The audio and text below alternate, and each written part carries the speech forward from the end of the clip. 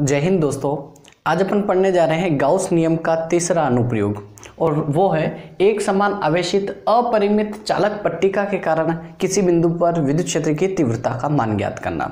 दोस्तों, यह क्वेश्चन जो होता है, यह गाउस के अनुप्रयोग से लेकर कोई सा भी क्वेश्चन होता है, वो दो भागों में विभाजित होता है। पहला पहला भाग होता है कि किसी भी आवेशित अपरिमित चालक पट्टिका या जिसका भी अनुप्रयोग पूछा है, उसकी दिशा ज्ञात करना। उसके ऊपर विद्युत क्षेत्र की दिशा ज्ञात करना और दूसरा होता है विद्युत क्षेत्र की मात्रा ज्ञात करना।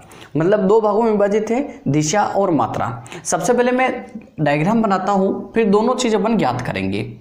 यहाँ पर अपने एक पास एक कोई अपरिमित अपरिमित का मतलब होता है दोस्तों अनंत आकार वाली। अनंत आकार वाली एक चालक पट्टिका है। ये कोई चालक पट्टिका है।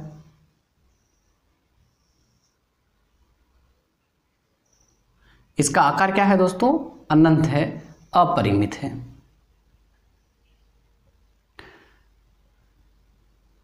मान लेते हैं इसको दोस्तों कि क्यू आवेश दिया गया है। इस चालक पट्टिका को कितना आवेश दिया गया है? क्यू आवेश दिया गया है। इससे पहले का जो अनुप्रयोग किया दोस्तों, दूसरा जो अनुप्रयोग किया, उसमें एक अपरिमित परत थी और ये एक पट्टिका है। पट्टिका मोटी होती है, परत एक पेज के समान पतली होती है। इसीलिए इसका एक ऐसा डायग्राम एक और बात ध्यान रखना है दोस्तों, जब किसी चालक को आवेश दिया जाता है तो वह चालक की सतह पर एक समान रूप से वितरित हो जाता है। किसी चालक को दिया गया आवेश, उसकी सतह पर एक समान रूप से वितरित हो जाता है और किसी को चालक को जब अपन आवेश देते हैं तो जहाँ आवेश देते हैं, वो वहीं पे रहता है, कहीं दूसरी जगह नहीं जा पाता। तो यहाँ पर अपने को मान लेते हैं कि यहाँ से अपने को आर दूरी पर स्थित केंद्र से, इस चालक पट्टिका के केंद्र से लंबवत आर दूरी पर स्थित पी बिंदु पर अपने को क्या ज्ञात करना है? विद्युत क्षेत्र की तीव्रता का मान ज्ञात करना है। विद्युत क्षेत्र की तीव्रता का मान ज्ञात करने के लिए इसके केंद्र ओ से ऊपर की साइड कुछ एक अल्पांश छोटा एरिया लेने पर, यहाँ पर जितनी ऊपर इससे ये एरिया लिया है डीएस ये क्षेत्रफल जो लिया है, उतना ही इस मूल बिंदु से नीचे भी एक छोटा सा अल्पांश लेने पर डी एस वेक्टर। इस अल्पांश के कारण विद्युत क्षेत्र की तीव्रता किधर होगी दोस्तों? अपन ने ये पढ़ पढ़ रखा है कि धन आवेश के कारण विद्युत क्षेत्र की तीव्रता हमेशा बिंदु की तरफ़ होती है। धन आवेश के कारण विद्युत क्षेत्र की तीव्रता बिंदु की तरफ़ होती है तो यहाँ से विद्युत क्षेत्र की तीव्रता इस तरफ़ और यहाँ से विद्युत क्षेत्र की तीव्रता इस तरफ़। अभी मैं डायग्राम बनाता हूँ। ये यहाँ से इस अल्पांश के कारण विद्युत क्षेत्र की तीव्रता किधर होगी दोस्तों? डी ई वेक्टर इधर। और इस अल्पांश के कारण विद्युत क्षेत्र की तीव्रता किधर होगी? इधर। D E vector. यहाँ पर एक ग्राफ जैसे मानने पर दोस्तों, यहाँ पर ये लंबाई और ये लंबाई या दूरी बराबर है। यहाँ पे एक ग्राफ जैसा बनाने पर ये क्यों कर, ऐसा क्यों करना पड़ रहा है? क्योंकि अपने को इसके घटक करने हैं। क्या करने हैं दोस्तों? घटक करने हैं। किस लिए करने हैं? विद्युत क्षेत्र की तीव्रता की दिशा ज्ञात करने के लिए। तो यहाँ पर अपने पास ये यहाँ से जितना कोण यहाँ बना रहा है, बात अब यहीं पे समझने वाली है, जितना कोण ये यहाँ से यहाँ बना रहा है तो उतना ही कोण ये भी बनेगा। क्यों बनेगा? क्योंकि जितनी दूरी ये है उतनी की उतनी दूरी ये है और जितनी लंबाई ये है उतनी की उतनी यहाँ से ये है। तो ये जो कोण बनाएगा उतना का उतना ये भी कोण बनाएगा। उसके बाद इसके जस्ट ये वाला कोण इसके जस्ट साम, सामने वाला ये कोण इतना होगा और ये कोण भी इतना ही होगा। अब अपने को इसके क्या ज्ञात करने हैं? घटक ज्ञात करने हैं। घटक ज्ञात करने के लिए यहाँ से एक लंब यहाँ डालने पर। यहाँ डाल लेंगे तो थीटा के जस्ट सामने वाला ये लंब है, ये आधार है और ये कर्ण है। अपने को क्या दे रखा है? कर्ण दे रखा है डी ई वैक्टर। और आधार ज्ञात करना है, ये एक्स घटक ज्ञात करना है। तो यहाँ पे टिग्नोमेट्रिक रिलेशन से दोस्तों क्या आएगा? ये रफ काम है, लाल बटे हुआ कक्का। ये दोस्तों मैं ऐसा डायरेक्ट डायरेक्ट भी बता सकता था कि विद्युत क्षेत्र का एक्स घटक कोस थीटा होता है वाई घटक साइन थीटा होता है। तब भी ठीक था, लेकिन अपने को ये कोस थीटा साइन थीटा किस प्रकार आया है, मैं अभी यही समझा रहा हूँ। डायरेक्ट याद रखें, ठीक है बात, लेकिन अपने को पता होना चाहिए कि वो आया कैसे है। तो यहाँ पे दोस्तों ये मेरे को कर्ण दे रखा है, आधार ज्ञात करना है। आधार और कर्ण का रिलेशन ये क्या होता है दोस्तों? त्रिकोणमिति के आधार अपोन कर्ण से क्या होता है? Cos theta. पहले वाला एल अपोन के होता तो sine theta L upon A होता तो टेन थीटा, बीच वाला कोस थीटा। मतलब पहले वाला साइन होता है, फिर कोस होता है, फिर टेन होता है तो अपने पास cos theta.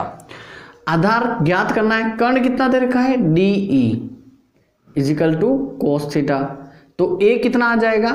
D E cos theta. ये अपने पास कितना आ गया दोस्तों? डी ई कोस थीटा है। ठीक, इसी तरीके से इसका वाई घटक कितना होगा दोस्तों? यहाँ एक लंब डालेंगे, फिर ये जेड बनेगा, एकांतर कोण, फिर ये जेड थीटा ही होगा। थीटा के सामने वाला ये लंब होगा, ये आधार होगा, ये कर्ण होगा, फिर इसी तरीके से ये क्या आएगा दोस्तों? साइन थीटा तो डी ई साइन थीटा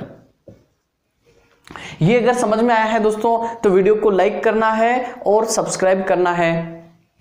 यहाँ पे दोस्तों डी ई साइन थीटा इसी तरीके से अब जब इसको सोल्व करेंगे, जिसको जिस तरीके से अपन ने इस त्रिभुज को सोल्व किया, और डी ई कोस थीटा और डी ई साइन थीटा आया, उस तरीके से इसको सोल्व कर कर यहाँ एक त्रिभुज बनाकर अपने पास क्या आ जाएगा? डी ई कोस थीटा ये, और ये क्या आ जाएगा? डी ई साइन थीटा अब दोस्तों, एक बात अपन यहाँ ध्यान रख सकते हैं। हरक के हर एक के अंदर यही होगा। क्या होगा? जिस अक्ष के साथ थीटा कोण बन रहा है, वो घटक कोस थीटा होता है। बाकी का साइन थीटा होता है। तो यहाँ पे ये थीटा कोण बन रहा था तो डी कोस थीटा। यहाँ पे भी ये थीटा कोण इसके साथ बना रहा एक्स अक्ष के साथ ये d cos theta. D sine theta d sine theta. अब अपने को इससे पता क्या चला है? दिशा का क्या मान आया है? तो यहाँ पर अपने को लिखना पड़ेगा। ये मिटा देता हूँ, रफ काम था दोस्तों। तो अब यहाँ पे क्या लिखना पड़ेगा? P बिंदु पर विद्युत क्षेत्र के घटक, P बिंदु पर विद्युत क्षेत्र के घटक y दिशा में बराबर तथा विपरीत होने के कारण एक दूसरे को निरस्त कर देंगे, जबकि x दिशा में विद्युत क्षेत्र के घटक एक ही दिशा में होने के कारण कुल विद्युत क्षेत्र की तीव्रता एक्स दिशा में ही होगी या एक्स दिशा में ही होगी या ओपी दिशा में ही होगी। अर्थात एक समान अपरिमित चालक पट्टिका के लंबवत विद्युत क्षेत्र की तीव्रता की दिशा होगी। बात क्लियर है? ये लिखना है दोस्तों, ये आपका काम है। उसके बाद अपने को क्वेश्चन का दूसरा पार्ट करना है। तीव्रता की बात कर ली, विद्युत क्षेत्र की दिशा की बात कर ली। अब अपने को क्या ज्ञात करना है? विद्युत क्षेत्र की तीव्रता का मान ज्ञात करना है। मान ज्ञात करने के लिए मैं यहाँ पे ये डायग्राम बनाता हूँ, वापस एक बार और। मान ज्ञात करने के लिए अपने को क्या करना पड़ता है दोस्तों? मान ज्ञात करने के लिए अपने को गाउसियन पृष्ठ की कल्पना करनी होती है। गाउसियन पृष्ठ की कल्पना करते हैं। ये अपने पास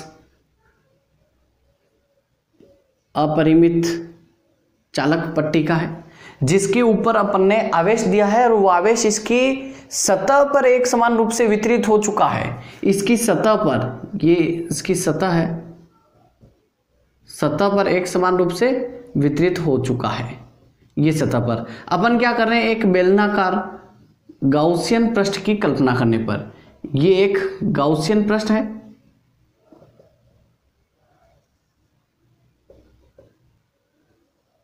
ये गाउसियन पृष्ठ है। इसकी अपन ने कल्पना करी। अपने को लिखना होगा दोस्तों।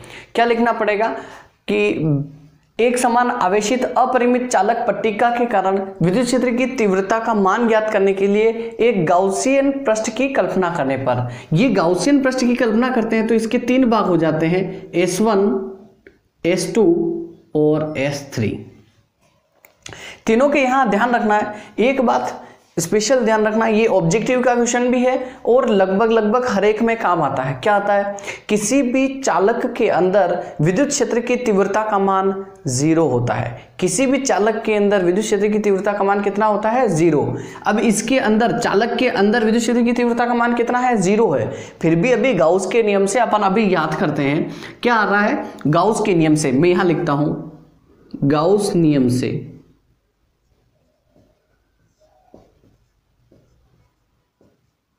गाउस का नियम क्या है दोस्तों?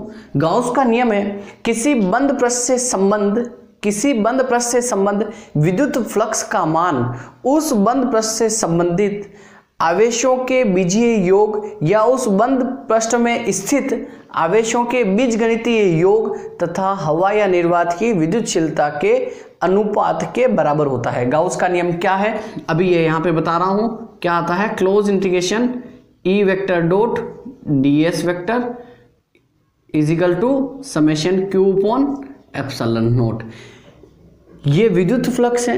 विद्युत फ्लक्स को क्या लिखते हैं? E vector dot d S vector close integration में इजिकल टू उसका मान किसके बराबर होगा? Summation q upon epsilon naught के लिए होगा। बराबर होगा। अब अपने को ई वेक्टर और डी एस वेक्टर इसमें प्रदर्शित करना है। एस थ्री की अगर लिए लिए लिखें एस थ्री के लिए एक अल्पांश लिया ये। ये एक अल्पांश लिया। यहाँ पर अब ई वेक्टर की दिशा किधर? अपन ने पहले से ही पढ़ लिया कि इसके लंबवत एक्स दिशा में होगी। तो यहाँ पर विद्युत क्षेत्र की तीव्रता की दिशा ई वेक्टर यहाँ पर भी अल्पांश ले रहे हैं। यहाँ पे भी अल्पांश, इधर भी विद्युत क्षेत्र की तीव्रता की दिशा, इधर के लंबवत या एक्स दिशा में ई वेक्टर की दिशा, इधर। अब यहाँ पर डीएस वेक्टर की बात आ रही है। डीएस वेक्टर डीएस वेक्टर है क्या? ये दोस्तों क्षेत्रफल सदिश है। और क्षेत्रफल सदिश की दिशा हमेशा पृष्ठ के लंबवत होती है। ये अपन ने पृष्ठ लिया है। ये अपन ने पृष्ठ लिया ये पृष्ठ, इस पृष्ठ के लंबवत किधर होगी? इधर। किसकी? डी एस वेक्टर की दिशा। यहाँ पर ये पृष्ठ है, इसके लंबवत ये होगी या ये जो पृष्ठ है, इसके लंबवत इधर? डी एस वेक्टर की दिशा किधर होगी? इसके लंबवत। और यहाँ लिखने की आवश्यकता ही नहीं है। अगर लिखना चाहें तो लिख ज़रूर सकते हैं। यहाँ पे क्योंकि पहला जो अल्पांश लिया है वो यही लिया है। तो इसके कारण विद्युत क्षेत्र ये जो अल्पांश डीएस वेक्टर है, इसकी दिशा इधर। लंबवत है। क्षेत्रफल सदिश की दिशा लंबवत होती है। और यहाँ पर अब तीनों के लिए अपने को क्या लगाना है? गाउस नियम लगाना है। गाउस नियम तीनों के लिए लगाएँगे तो क्या होगा दोस्तों? close integration s1 e vector dot ds vector plus s2 e vector dot ds vector plus s3 e vector dot ds vector is equal to summation q upon epsilon naught.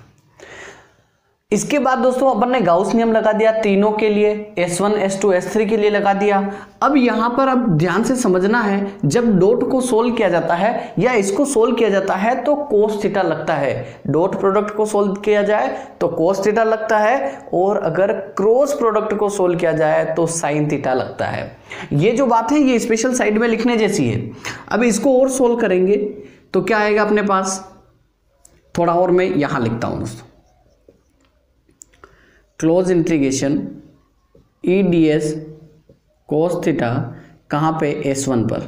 फिर plus close integration S two E d S cos theta plus close integration S three E d S cos theta equal to summation q upon epsilon naught अब दोस्तों, ध्यान से समझना है कि यहाँ पर इसके अंदर तो विद्युत क्षेत्र की तीव्रता का मान कितना होता है?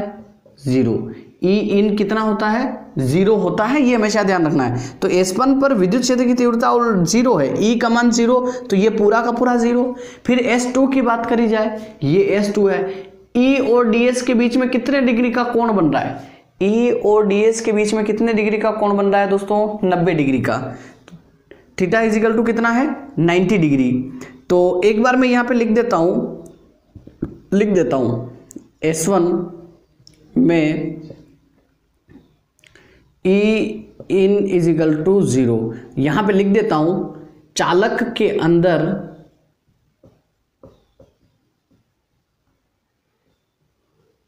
E का मान शून्य होता है। डिस्क्रिप्शन में लिख दिया। फिर एस टू पर थीटा बराबर कितना?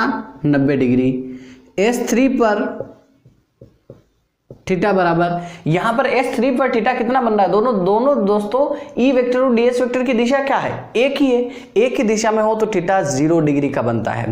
दो बसें हैं। कोई यहाँ से चलना शुरू हुआ और दूसरी बस भी यहीं से चलना शुरू हुआ तो कितने डिग्री के कोण पे चल रही है? ज़ीरो डिग्री के इन दोनों के बीच में ज़ीरो डिग्री का कोण। तो कितना आएगा? ज़ीरो डिग्री का। दोस्तों, यहाँ समझ में आया है तो वीडियो को लाइक कीजिए सब्सक्राइब कीजिए और अपने दोस्तों में शेयर कीजिए दोस्तों। यहाँ पर अब केवल S1 S2 S3 पर थीटा की वैल्यू लिखनी है और अपना आंसर लाना है। चलते हैं दोस्तों आगे। थीटा की वैल्यू लिखेंगे। यहाँ ऑलरेडी ज़ीरो है तो ये ज़ीरो प्लस यहाँ देखिए S2 के अंदर थीटा 90 डिग्री रखना है। ई डी एस कोस नब्बे। ई डी एस कोस कोस नब्बे का मान कितना होता है दोस्तों? कोस नब्बे का मान ज़ीरो होता है, शून्य होता है। तो ज़ीरो से इसको मल्टीप्लाई करेंगे तो ये भी पूरा ज़ीरो आ जाएगा। प्लस ई डी एस यहाँ पर क्या रखेंगे? Theta equal to zero degree cos zero का मान वन होता है। वन को इससे मल्टीप्लाई करेंगे तो क्या आएगा? E d S equal to summation q upon epsilon naught यहाँ तक दोस्तों समझ में आया है? आपने नोट कर लिया तो अच्छी बात है, नहीं तो आप आराम से स्क्रीनशॉट ले सकते हैं, फिर इसके ऊपर में लिखता हूँ। या फिर अपन एक दो स्टेप और लिख सकते हैं। यहाँ पर अपने पास क्या आ रहा है? ई e और ds का समाकलन करेंगे तो क्या आता है दोस्तों? एस का डीएस का समाकलन होता है S equal to summation q upon epsilon naught अब दोस्तों मैं ऊपर लिखता हूँ।